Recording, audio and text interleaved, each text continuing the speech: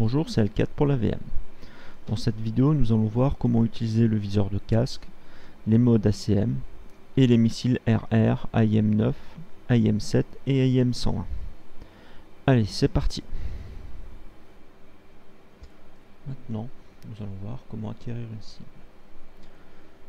Pour cela, nous pouvons utiliser les modes BVR pour le combat à grande distance ou les modes ACM pour le combat rapproché. Commençons par les modes ACM. Ces derniers sont optimisés pour le combat aérien rapproché. Ils acquièrent automatiquement une cible sans, identification IFF. Il y a quatre modes. Le mode Gun Acquisition ou GACQ. Ce mode est spécifique au canon et n'est utilisable qu'avec celui-ci. Une cible sera automatiquement verrouillée si elle passe dans le cercle pointillé. Le cercle représente une ouverture de 20 degrés, la portée maximale est de 5 nautiques. Ensuite, nous avons le mode bore sight qui est activable avec la commande capteur avant. Toute cible passant à l'intérieur du cercle pointillé, donc le petit cercle ici, sera automatiquement verrouillée jusqu'à une distance de 10 nautiques. Ensuite, nous avons le mode euh, vertical acquisition ou VACQ. Donc, ce mode est activé avec la commande capteur arrière. Deux lignes verticales délimitent euh, la zone de verrouillage. Celle-ci va de moins 13 degrés à plus 46 degrés en élévation. Et enfin, le mode WACQ pour wide acquisition.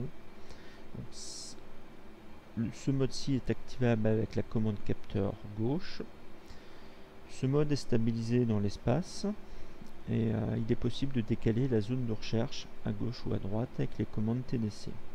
La portée de 10 nautiques. Euh, actuellement, euh, seule la version Cage est, disponible. Ensuite, pour les modes BVR. Hmm, pour les modes BVR, je vous invite à voir la vidéo du radar RR euh, il existe toutefois un mode d'acquisition automatique activable avec la commande capteur droite, comme nous voyons ici,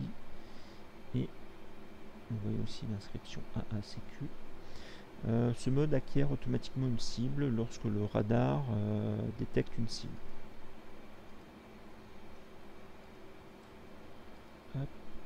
Alors, je vais essayer de retrouver ma cible. Et voilà. Donc le radar automatiquement verrouillé la première cible qu'il a trouvée.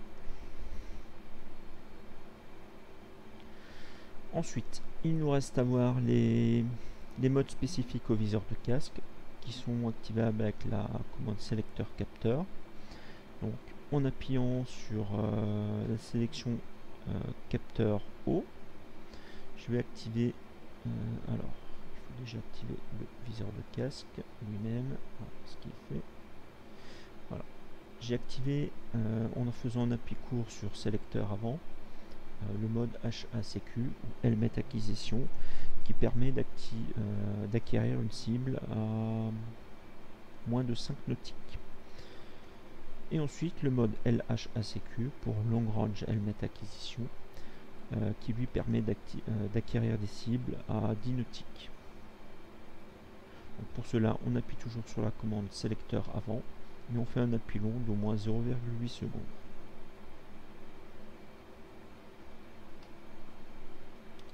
Le combat au canon. Dans un combat au canon, il existe deux possibilités, soit d'utiliser l'assistance du radar, soit sans l'assistance du radar. C'est cette version que nous allons voir. La méthode sans radar. Pour cela, pour pas être embêté, je vais couper mon radar, ce qui n'est pas obligatoire. Je vais mettre mon master arm en position arm et je vais sélectionner mon canon. Une fois sélectionné, nous voyons dans la partie haut du HUD le funnel qui est une sorte d'entonnoir qui va indiquer la trajectoire de vos obus. Alors,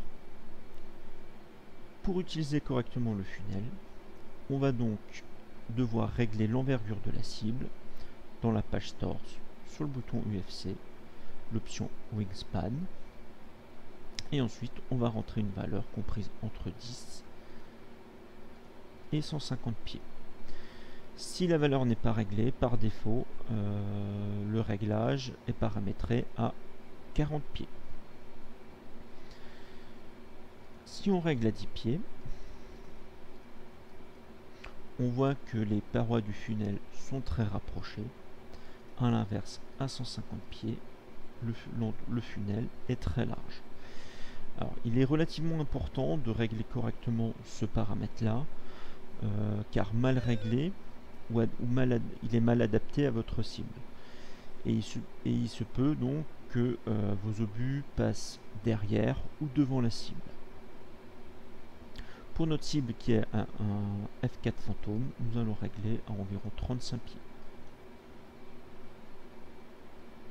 Allez, c'est parti. On va retrouver la cible et on va aller la battre.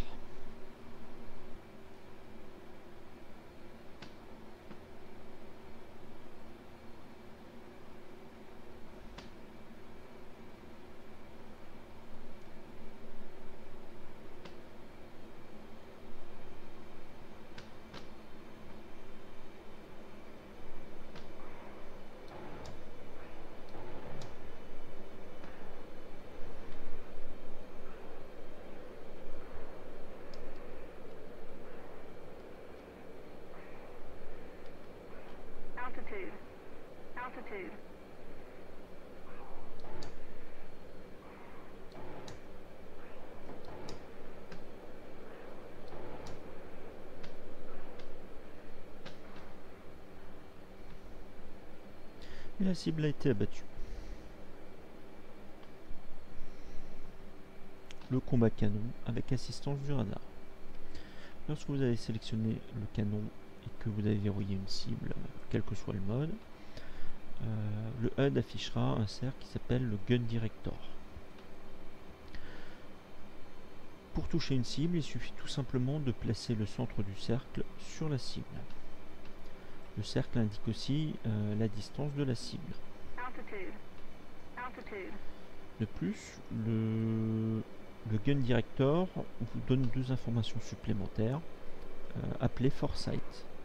La première indique euh, où placer le réticule lorsque vous manœuvrez un 1G ou un 9G. Ces indications-là sont représentées par deux petites croix qui se déplacent euh, à l'intérieur et à l'extérieur du cercle. Il y a aussi deux grandes lignes horizontales qui indiquent euh, la capacité de manœuvre de la cible hors du plan. Plus ces lignes sont grandes, plus la cible a de capacité de manœuvre. Alors, maintenant je vais retrouver ma cible. Je vais la nier et essayer de la battre.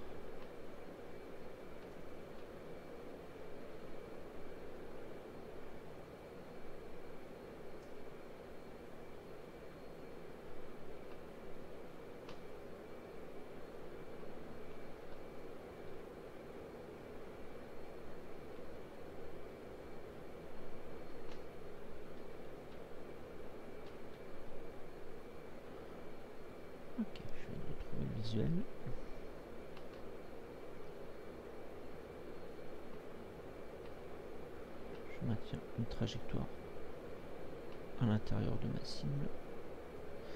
Lorsque le réticule sera bien placé, j'aurai une indication shoot, comme ici.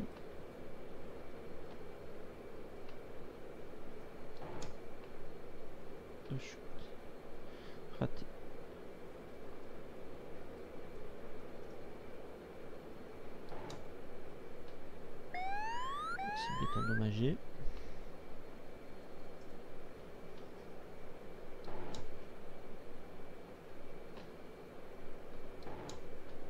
Au shoot.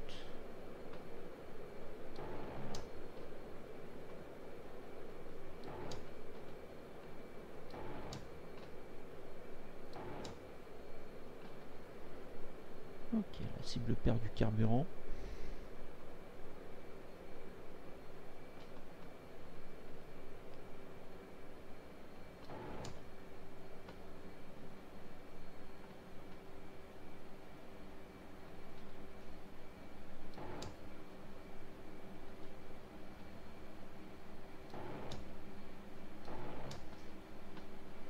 Détruite. Alors, maintenant nous allons voir les sons qui sont liés au missile AIM-9. On va distinguer deux familles de missiles, les missiles d'ancienne génération, les AIM-9L et M, et les missiles de nouvelle génération, les AIM-9X. Ceux-ci sont capables d'être dirigés via le viseur de casque JHCMS. Pour les missiles d'ancienne génération, il y a trois sons différents. Le premier que vous entendez peut-être déjà, qui est lorsque le missile est en phase de recherche. Euh, lorsque le missile est en phase de recherche d'une source de chaleur euh, et qu'il ne trouve rien, il émettra donc un son qui est faible et grave. Lorsque vous placez une cible à l'intérieur du cercle euh, d'acquisition, qui est ici, le son va devenir beaucoup plus fort et beaucoup plus aigu.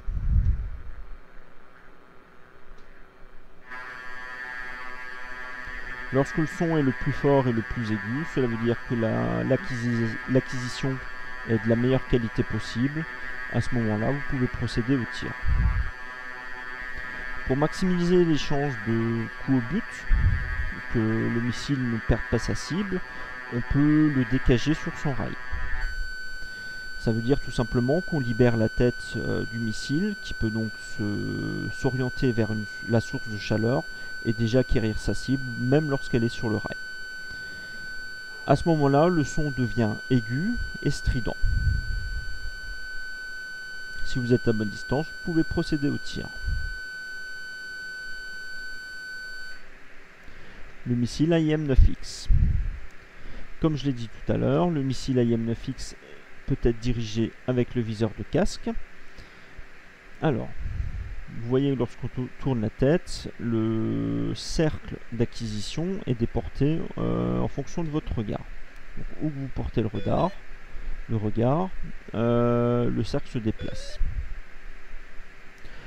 Si vous revenez au centre, le cercle se replace au centre. Alors, ici on a six sons différents.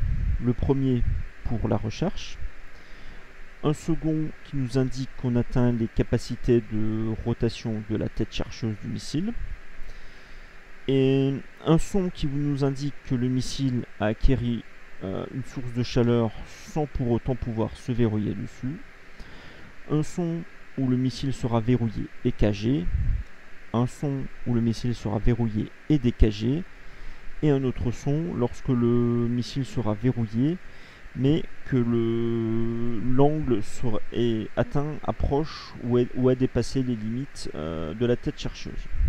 Alors, le premier son, euh, vous entendez le grognement de recherche.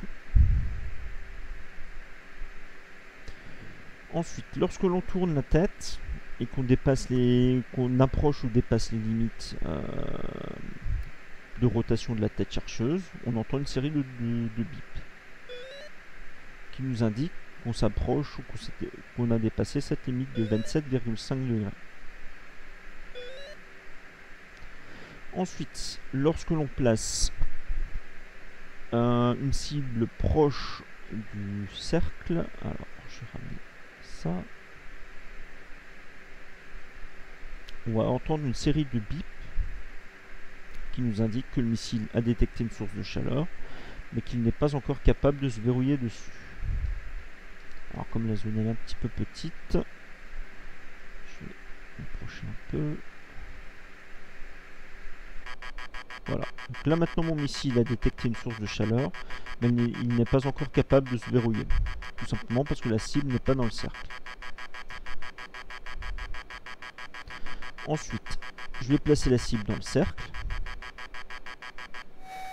Et on va à nouveau entendre, le, comme pour les missiles d'ancienne génération, euh, le grognement aigu est fort.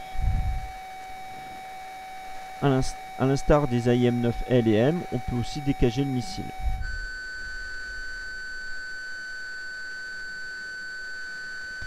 Et ensuite, si on veut euh, utiliser avec le viseur de casque, on peut très bien... Hop.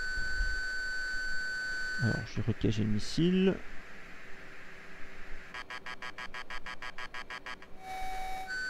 Et le missile cagé, décagé pardon, avec le viseur de casque. En plus de ça, lorsque vous approchez de la limite euh, des 27 degrés euh, et que vous êtes décagé, le son va changer un petit peu. Vous allez entendre euh, deux tonalités de son aigu, comme actuellement. cela vous indique que vous êtes verrouillé, décagé, mais que vous atteignez aussi la limite des 27,5 degrés.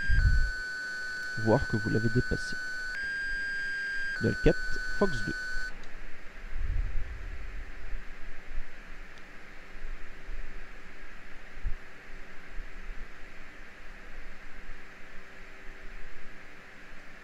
Impact. Nous allons commencer par voir le HUD.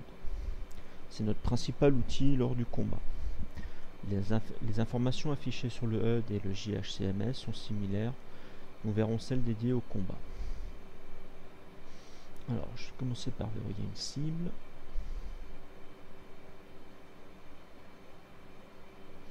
Et sélectionner un armement. Nous voyons dans le, cercle plusieurs informations, dont notamment le cercle ASE, qui utilise la symbologie NIRD pour normaliser in range display. Ce cercle indiquera la zone dans laquelle placer le steering dot, comme nous voyons ici actuellement, ainsi que la distance de la cible, 65 nautiques pour l'instant. Le cercle NIG affiche euh, différentes informations euh, notamment les, différentes distances de la cible. Donc, on a plusieurs cibles, plusieurs distances, pardon. La distance R aéro, qui va nous indiquer la portée maximale du, missile, sans aucune réserve d'énergie. Nous avons ici dans les 6 heures du cercle la distance R max, qui elle nous indique la distance maximale que le missile peut parcourir en gardant une petite capacité de manœuvre en fin de trajectoire. Et ensuite ici, la distance RNE ou Range No Escape. Euh, c'est la distance à laquelle le missile peut faire mouche sur une cible qui devrait faire un demi-tour. Et ici, on a la distance R minimum qui nous indique la distance euh, minimale à laquelle tirer le missile. En dessous de ça, le missile n'aura peut-être pas la capacité de s'armer ou de manœuvrer suffisamment pour atteindre la cible. pilote automatique. Alors, nous voyons ici euh, la box de la cible, qui indique la position de la cible, et à l'intérieur un petit cercle qui est le steering dot.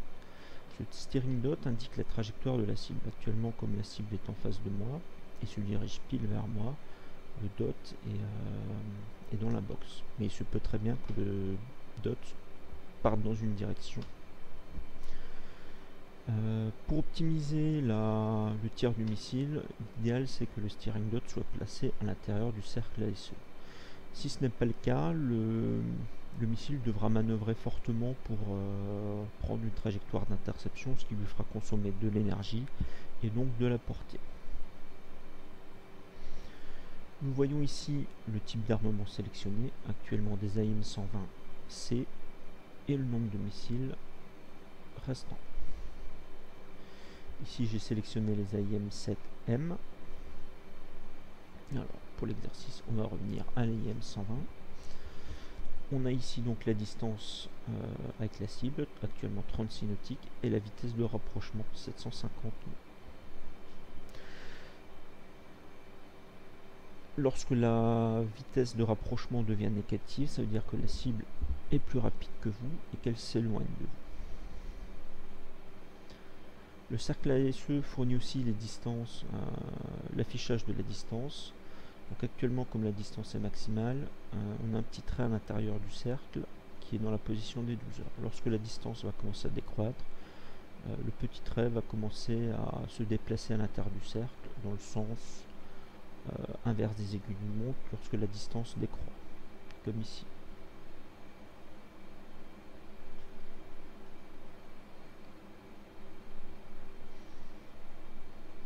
Nous voyons sur le boîtier de l'arceau de la verrière que l'information lock nous indique bien que nous sommes bien verrouillés sur une cible.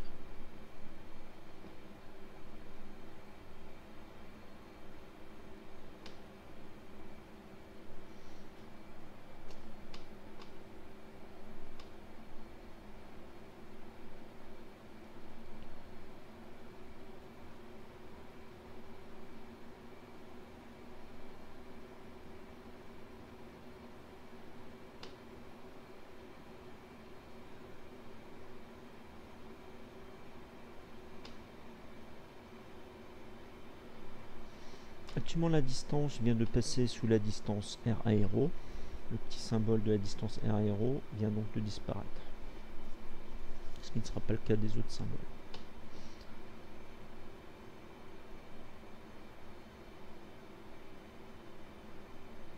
Nous approchons maintenant de la distance R max. Comme vous le voyez, je viens de recevoir l'instruction shoot qui m'indique que je suis à portée de tir euh, R max. On le voit ici aussi sur le boîtier de la verrière.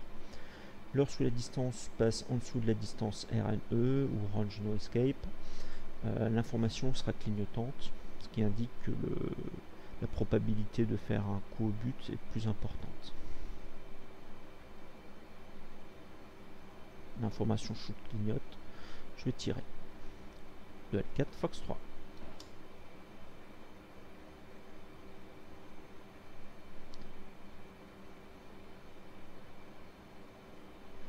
But. On va voir la même chose avec le viseur de casque, il n'y aura pas de grande différence.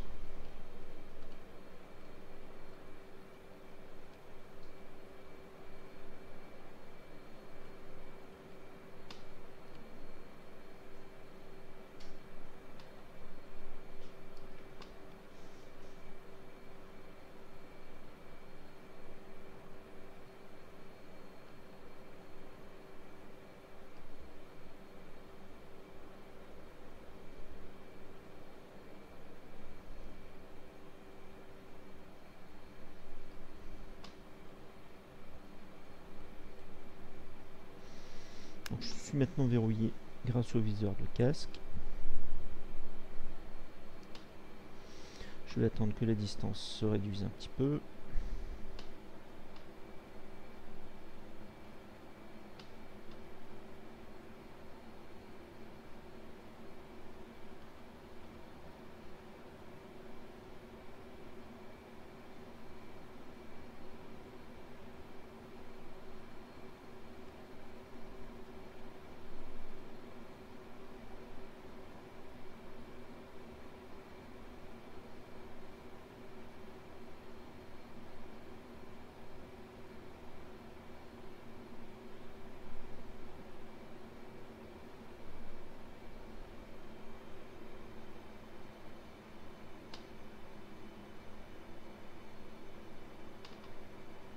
L4 force.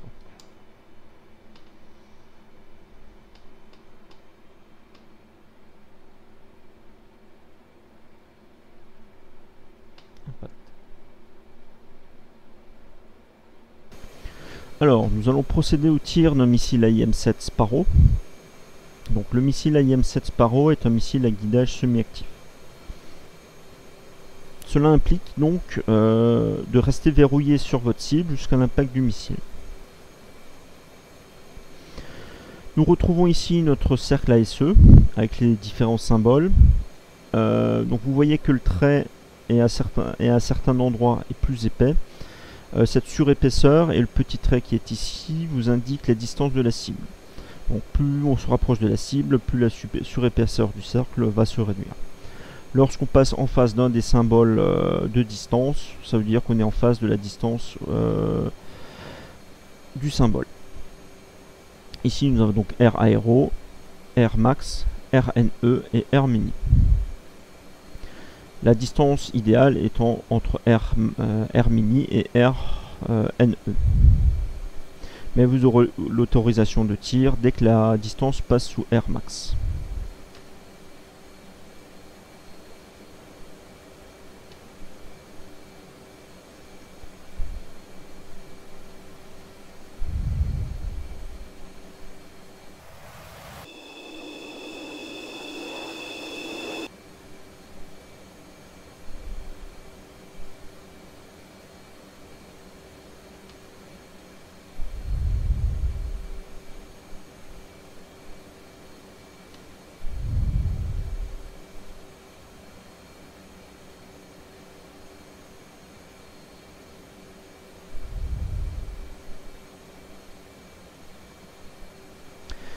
La distance euh, se rapproche de R max. Donc nous allons recevoir l'autorisation de tir. On voit que l'indication shoot au-dessus de la box de la cible et euh, du boîtier au niveau de l'arceau sont activés. Lorsque la distance sera inférieure à RNE, l'indication shoot euh, clignotera aux deux endroits. Duel 4, Fox 1. Nous avons aussi un compteur TTG qui va nous indiquer le temps avant l'impact du missile.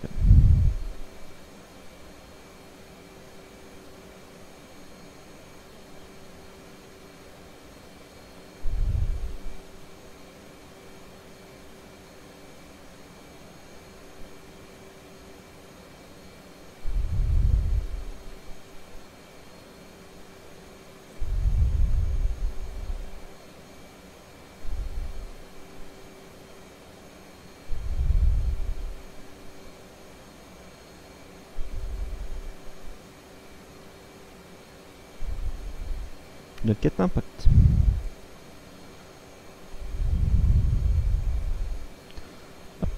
Alors, nous allons procéder au tir d'un missile IM-120 en mode STT.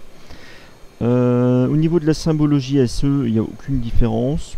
Euh, la grosse différence avec le missile IM-7 Sparrow, ça va être au moment du tir. L'IM-120 étant un missile à guidage actif, le missile peut être complètement autonome. Euh, attention toutefois, euh, la portée du radar du missile euh, étant d'environ 10 nautiques, si votre cible est éloignée de plus de 10 nautiques, le missile ne basculera pas tout de suite en mode, autonome. pour cela, il fera une partie du vol en étant guidé par le radar du F-18. donc cela ce sera symbolisé par un petit décompte euh, avec marqué ACT pour active qui vous indiquera le temps de vol restant jusqu'à ce que le missile devienne autonome. Une fois le missile autonome, ce sera un compteur TTG comme pour l'IM 7 Sparrow qui vous indiquera le temps jusqu'à l'impact.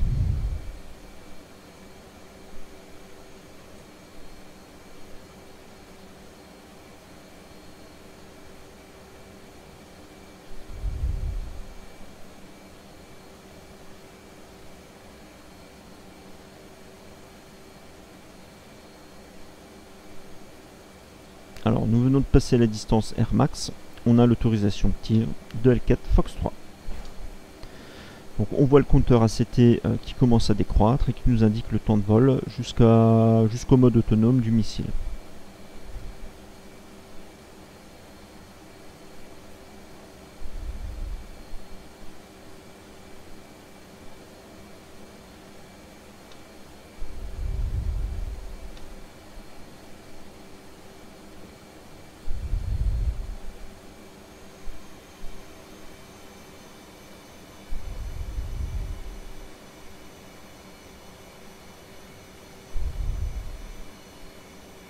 Le missile est actif, je peux déloquer ma cible et basculer en défensif.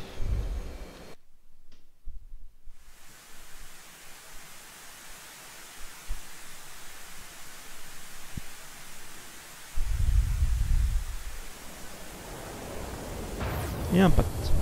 La cible a été touchée.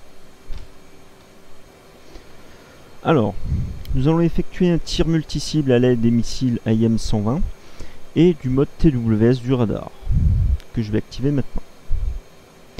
Une fois en mode TWS, je vais aussi activer le mode Expand étant donné que les cibles sont assez proches les unes des autres euh, et que la distance est un petit peu importante pour que je puisse bien différencier les cibles.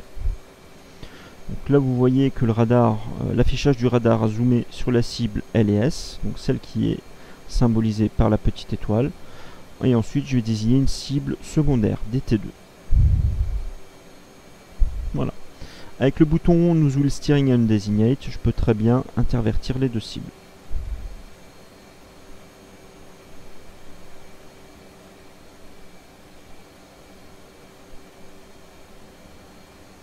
Alors, l'idéal est toujours de, lors d'un tir multi-cible, essayer d'optimiser l'échange de, de kill sur les deux cibles euh, l'idéal est toujours d'essayer de verrouiller deux cibles qui sont assez proches l'une de l'autre. Si les cibles sont très éloignées, ça va énormément compliquer la chose.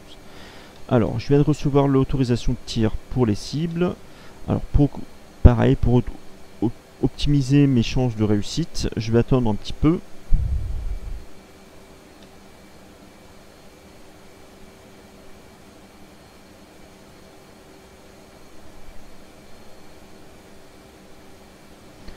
Dans le HUD, la cible LS est symbolisée par le carré ou le, losange en fonction de la réponse IFF et la cible DT2 par la croix. Duel 4, je vais engager la première cible. Duel 4, Fox 3. Le missile est en train de partir euh, vers la cible. J'intervertis les deux cibles avec Newswheel Steering and Designate et je tire la deuxième. Duel 4, Fox 3.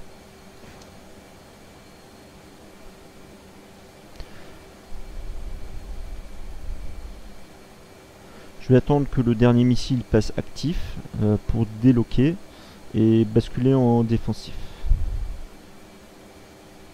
Duel 4, Pitbull.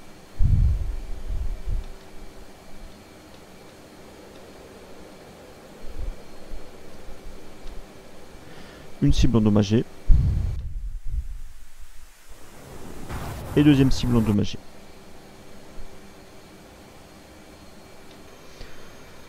Alors, nous allons voir le mode flou de l'AIM7 et le mode visuel de l'AIM120. Donc, ces deux modes étant similaires, je vais les traiter en même temps. Donc, ces deux modes fonctionnent de la même manière, à savoir, euh, pour l'AIM120, euh, vous voyez le grand cercle euh, vous voyez le grand cercle en pointillé. Il suffit tout simplement de placer la cible à l'intérieur de ce cercle et de tirer. Le missile est alors directement autonome et se dirigera vers sa cible. Il faut faire attention à deux choses. La première, c'est que la portée maximale. Euh, donc la portée maximale sera celle du radar de l'AIM 120, dans le cas de l'AIM 120 ou euh, de l'AIM 7. Dans le cas de l'AIM 120, la portée maximale est de environ 10 nautiques. Au-delà, le missile sera incapable d'acquérir sa cible.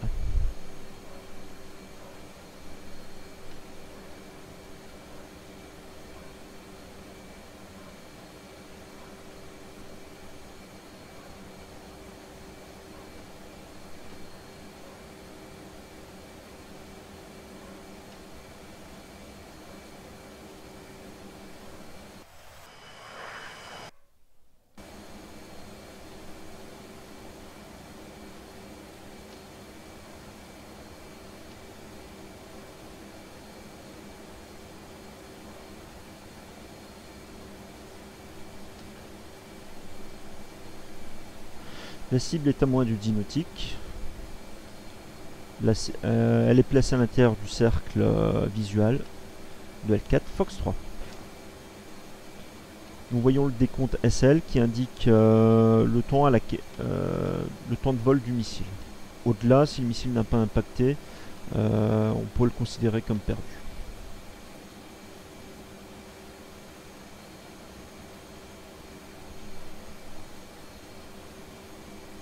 Impact. En mode fluide, je sélectionne les IM7. De la même manière, je laisse la cible à l'intérieur du cercle, qui est ici continu. Et je procède au tir. De L4 Fox 1. Nous voyons l'indication flood qui nous indique que le missile est bien en mode fluide. Alors ici, il faudra bien veiller à garder la cible à l'intérieur du cercle car comme le missile AIM-7 n'est pas autonome, euh, c'est les émissions du radar euh, de la, du F-18 qui guident euh, le missile.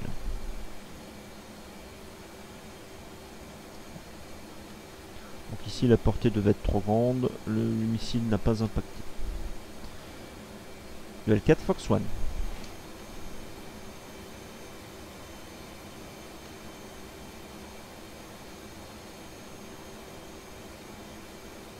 Impact. Je rebascule sur les AIM 120. La 4 Fox 3. Ah, mon missile a raté. Donc voilà pour le mode visuel de l'AIM 120 et le mode flou de l'AIM 7.